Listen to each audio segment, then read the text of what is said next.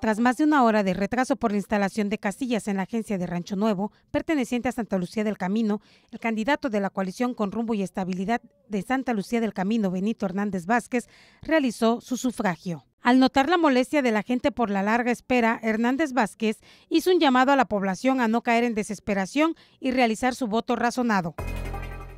Y pues la verdad que este día pues también invitar a los otros candidatos a que inviten a, a los ciudadanos, a sus simpatizantes, a que esto sea una fiesta y que esto se, se lleve en paz esta, esta elección. Veo que la gente está motivada, está contenta y ojalá que haya buena respuesta de la participación de todos.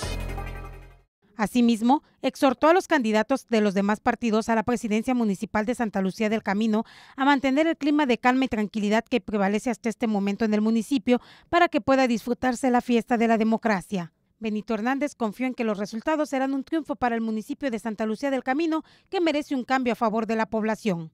Con imágenes de José Antonio Reyes informó para MBM Televisión Alexi Espinosa.